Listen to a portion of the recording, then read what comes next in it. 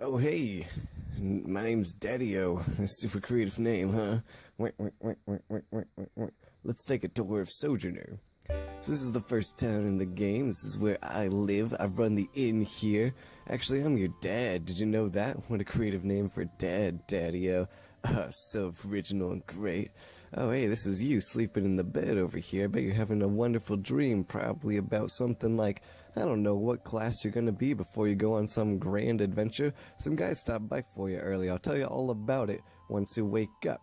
And then if you walk out of the inn here and walk up to the castle,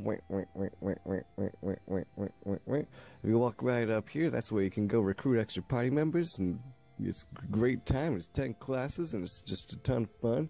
Lots of customization options there. You can change classes later if you want. Uh, but let's right now go see what's outside the town because town's boring. Oh, look, it's the overworld. There's a guy hanging out over there, walking around. In this game, there's people who walk around in the overworld, and you can talk to them. I always thought it was weird how in those old games the overworlds were just barren and empty. Open monster encounter. What's this? Four slime, sleepy rat, sickly rat, predator. I wonder if aliens in this game too. Alright, let's fight. I guess I'll uh, use a hex. Uh, summon media sounds good. Uh, oh, look at this frame rate. Why is this frame rate so bad?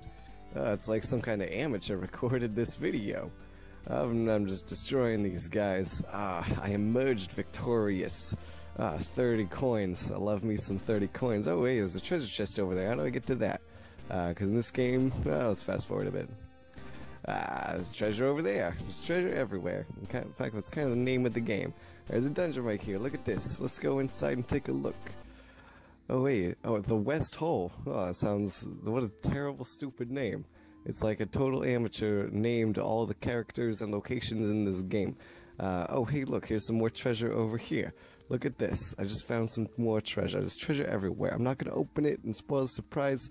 Uh, the whole game's really quirky and fun, and hey, don't fade out on me. I'm not done talking about it yet. This game is so heartwarming and just wonderful and delightful. No, game over. Come on, I'm not done yet. There's so much more to tell you about. This game is amazing. It's just the like the classics of old. Come on, no, don't silence me. I'm still got so much more to say. no.